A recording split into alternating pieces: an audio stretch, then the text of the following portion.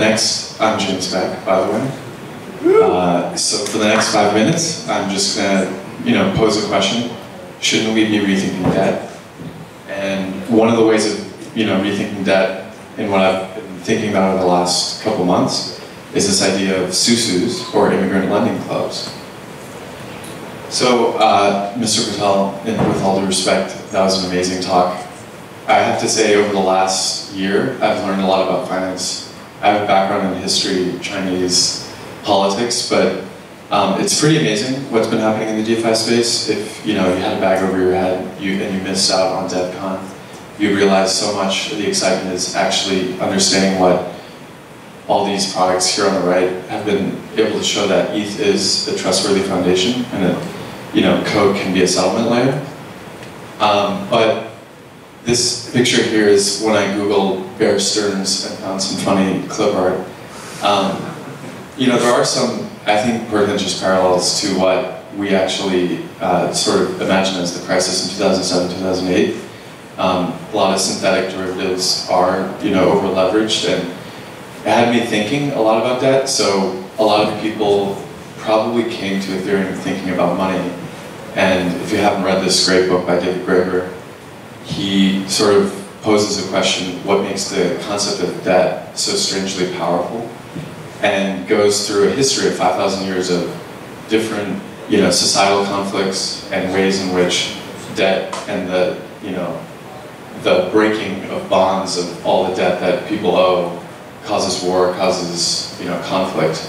Um, a couple other interesting things is that uh, even the idea and like built into our language. So in Greek, the word symbolon literally became the word for money. In Chinese, it's fu, and it was literally a word to describe a debt or a credit to someone else. Um, in this symbolon was sort of a, a, piece that you break in half and would represent the debt you owe.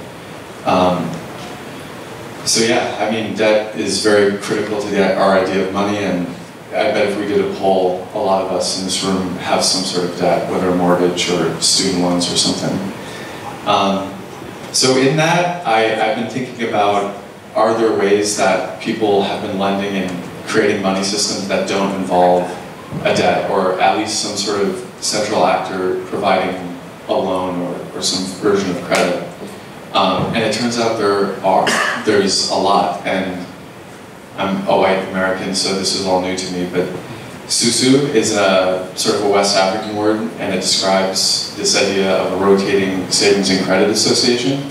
Turns out it's also a tanda in Latin America, in Chinese it's a hui, and that's been around actually since this guy, since the Tang Dynasty, which was like 600. Um, and what it is is pretty simple. Um, it's the idea of savings with a community, each person puts a set amount into a, a pool, and then the pool rotates. And so you can set the parameters, whether it's, you know, in this example, $10 per week, everyone would receive $200 at some point. Some tandas and some ways, they set it up where like people can choose when they want to receive the collective pool. Um, but so the other thing though is that it's simply savings, and it's group savings, so no one actually earns interest on the money set aside. So when I was researching this, something I found, um, people all throughout the United States use Susus daily. Um, people use it to pay for a car. Um, the Hasidic Jews in Borough Park use it to buy real estate. They, it's just built into the social fabric. They all share their money and essentially one person gets to draw from the pool, from the collective pool. In um, Caribbean communities, it's actually, it happens in church groups. So you have a group of like seven people and one trusted collector, and then eventually, you know, they pay, pay it out, whether it's five months, eight months, what have you. Um, and then this quote is that a lot of people who are unbanked, especially in the US, uh, form these informal uh, lending clubs. So yeah, in like the early 2000s, banks obviously are like, you know, thinking, okay, how can we profit and scheme on this? So um, there's actually this, this project that Barclays is still doing with GCSCA, which they selected a actual individual that, that they call a susu collector. And in these Ghanaian markets, people in roadside stalls, they've already been using these susu schemes, pooling resources to be able to buy large shipments of, you know, produce.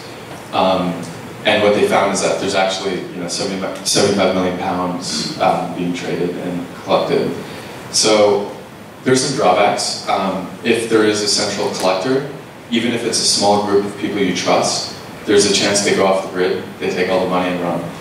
Um, the other idea is that, you know, the person who is last in line to get it does not receive any interest, so it's a little less reliable than putting money in a bank account, and that's assuming, you know, you have enough money to create a bank account. Um, so the last thing I'm going to raise is, along doing this research, there was like two projects that came up, just, you know, sort of as testament to how fast things are moving in the DeFi space, but PoolTogether, I've been using that. Um, it's more, they're describing themselves as a no-loss lottery, um, and it's kind of fun and they're earning interest on the side. There's also Akropolis. I'm not exactly sure the status of this project, but in their website materials they describe it as these informal lending clubs. Um, so I guess, yeah, um, this is sort of a call to continue talking with other people if you want to discuss SUSUs and think about the applications for Ethereum with, I guess, trustless SUSU collectors. Thank you.